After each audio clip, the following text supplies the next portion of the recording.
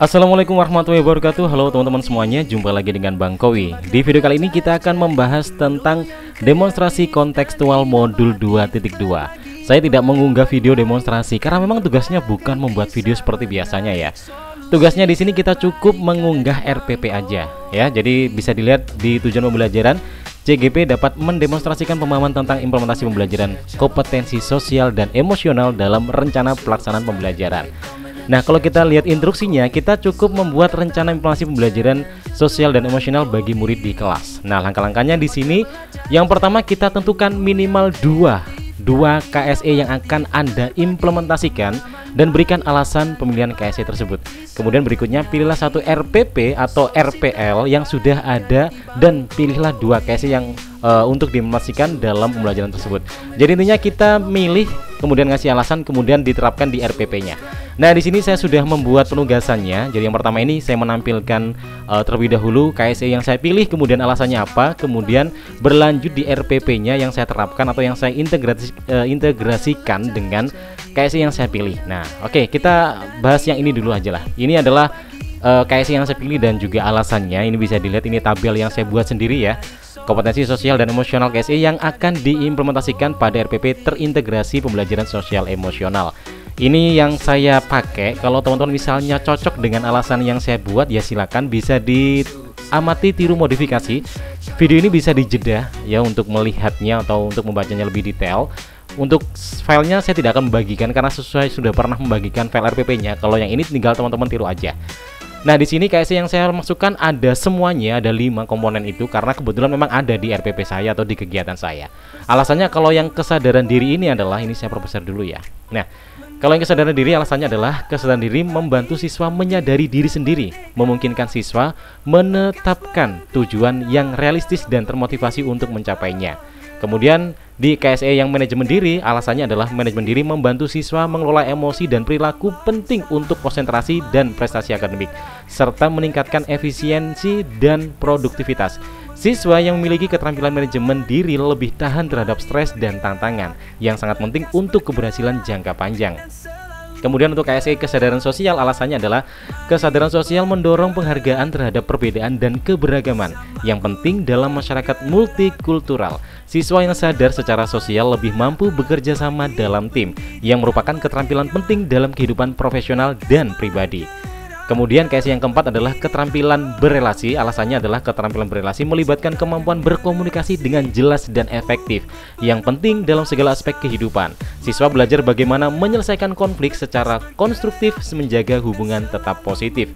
Kemudian case yang terakhir atau yang kelima adalah mengambil keputusan yang bertanggung jawab. Alasannya adalah kemampuan untuk membuat keputusan yang bertanggung jawab membantu siswa mempertimbangkan konsekuensi dari tindakan mereka dan memilih yang terbaik untuk diri mereka sendiri dan orang lain. Selain itu, siswa yang mampu membuat keputusan yang bertanggung jawab lebih mandiri dan siap menghadapi tantangan dunia nyata. Ini adalah alasan dari KSI yang saya pilih. Nah, langsung kita integrasikan dari RPP yang sudah kita buat. Ini adalah RPP yang saya buat di uh, demonstrasi kontekstual 2.1 di pembelajaran berdiferensiasi. Jadi teman-teman sudah punya filenya otomatis karena pernah saya bagikan. Teman-teman tinggal memasukkan aja 5 KSC tadi di uh, langkah-langkah kegiatan yang dia itu kira-kira mengandung unsur KSC tersebut. Contoh misalnya ini, ini sudah saya kasih tanda. Jadi untuk penandaan yang dulu di uh, eh, RPP pembelajaran berdiferensiasi ini masih saya tetap pertahankan. Jadi dia saya kasih tanda tebal kemudian miring. Tapi kalau yang untuk terbaru ini adalah unsur KSE, ini saya beri tanda tebal miring dan juga uh, stabilo kuning. Yang pertama, ini adalah KSE kesadaran diri ini masuk dalam kegiatan mengajak peserta didik untuk berdoa. Ini tujuannya untuk kesadaran diri. Alasannya tadi bisa dicek aja ya. Kemudian guru memaparkan keyakinan kelas yang harus disepakati sebelum pembelajaran. Ini juga termasuk uh, item kesadaran diri. Kemudian mengondisikan suasana belajar yang menyenangkan ini seperti kita mengajak siswa kita mungkin meditasi untuk mereka biar lebih siap atau mungkin ice breaking agar mereka bisa lebih bersemangat atau lain sebagainya terserah. Ini merupakan bagian dari manajemen diri. Kita berlanjut berikutnya ini adalah kesadaran sosial. Otomatis ini berhubungan dengan kegiatan kolaboratif atau kooperatif atau sederhananya adalah berkelompok. Jadi ini membagi peserta didik ke dalam kelompok berdasarkan minat jenis bacaan ini berkelompok otomatis kesadaran sosial. Kemudian berikutnya uh, keterampilan relasi ini jelas hubungannya dengan aktivitas dalam berkelompok otomatis ya saling bertukar pendapat, diskusi dan lain sebagainya. Guru bagi LKBD dan bahan bacaan cerpen bla bla bla guru juga membebaskan kelompok mencari sumber bacaan. Jadi otomatis di proses kelompok ini kan mereka ada proses komunikasi antar teman. Otomatis keterampilan relasi terjadi di kegiatan ini.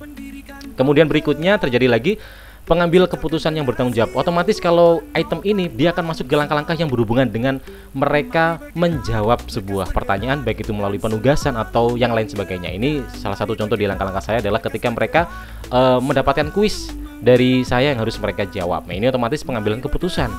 Kemudian berikutnya ada lagi keterampilan berelasi ini. Jadi ketika mereka e, bersama kelompok menuntaskan misi permainan, jadi mereka mengerjakan secara bersama, otomatis terjadi yang namanya e, diskusi atau komunikasi antar kelompok ya atau antar teman. Otomatis keterampilan relasi terjadi.